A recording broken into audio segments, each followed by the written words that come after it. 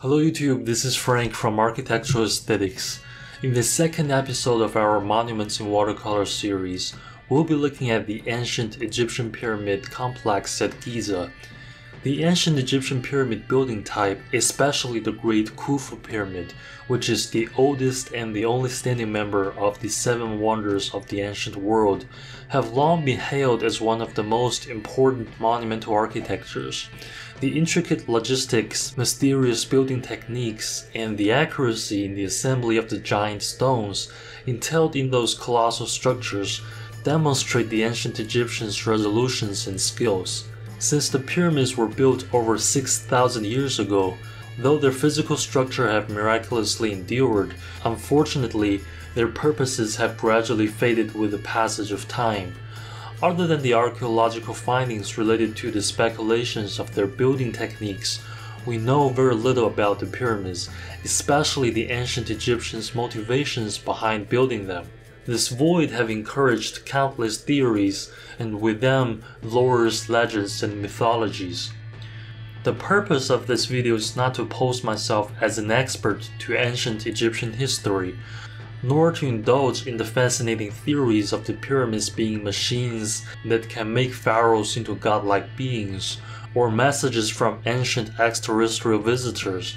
Instead, I would like to take the pyramids at their face value and understand them as mausoleums, which means funerary monuments for the Egyptian pharaohs, and focus more on sharing with you the watercolor painting techniques deployed in this piece. Comparing to the subject of our previous episode, which is the Great Ziggurat at Ur, I venture to say that the pyramid building type is the antithesis of ziggurats.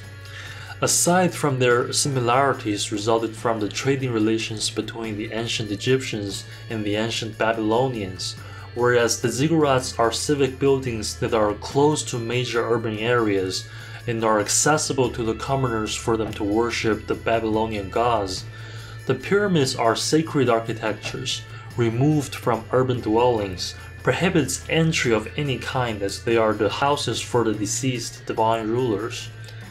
Now let's talk about the painting techniques. Just to toot my own horn a little bit, I think I'm getting better at applying flat or graded washes to large areas. I attribute this improvement to a book I recently read on architectural watercolor rendering written by the famed watercolorist Thomas Schaller.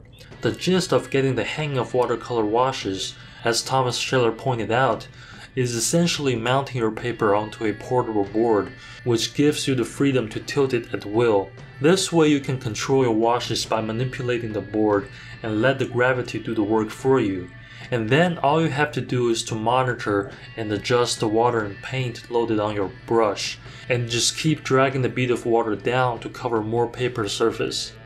It's a very enjoyable, meditative, almost zen-like experience and once you've got the hang of it, it gives you the ability to apply multiple passes of vibrant, transparent layers of color instead of having to mix up and hence reduce the vibrancy and the transparency of your colors. Now, I perceive the challenge of this piece being how to convincingly portray the texture of the exposed rock bricks. Because while watercolor is very good at representing smooth, continuous surfaces, Using it to portray jagged, roughly textured surfaces could be difficult. With some experiments, my answer to this challenge is to use watercolor to build up the base color, and then to use soluble watercolor pencils to represent the rocks and bricks by applying patterns of lines. And overall, I would like to say that I'm happy with the final effect produced by this wet and dry combination.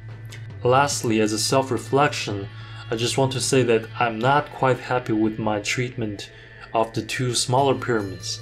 I think the arrangement of the rocks could have been better represented by deploying a higher contrast in the palette to better portray the three-dimensionality of the ruin.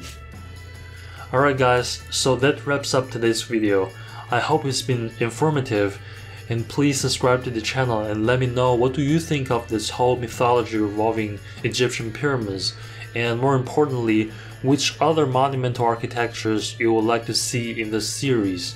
And with that said, I'll see all of you in the next video. Bye bye.